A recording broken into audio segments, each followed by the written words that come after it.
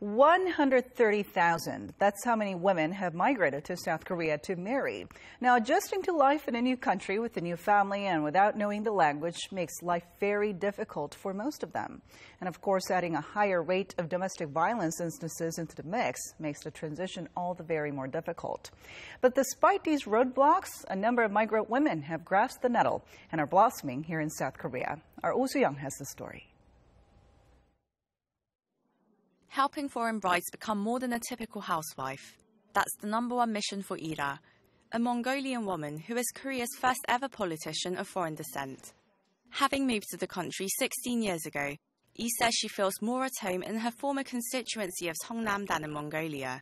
She was elected to the Gyeonggi-do Provincial Assembly in 2010. I never even dreamt of being a politician back in Mongolia, but suddenly in Korea I was 33 years old in office, working with budgets and representing the foreign population here.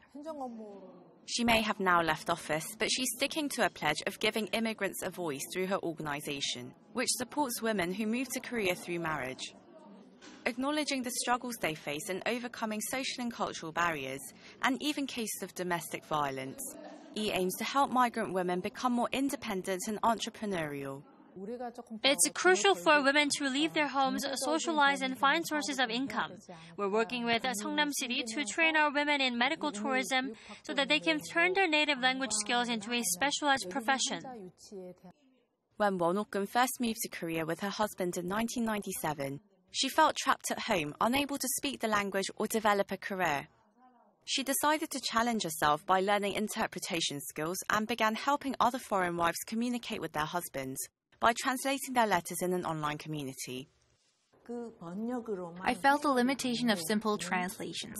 I wanted to provide more practical support. So I began working with NGOs and became one of the first consultants on the Danuri Emergency Hotline for migrant women, which has now expanded to 13 different languages. Won is now a legal interpreter and a representative for the local Vietnamese community. Throughout the years, I saw how passionately and selflessly Korean activists fought for our rights as migrants. They showed me how I should and could do so much more for my own people, especially women.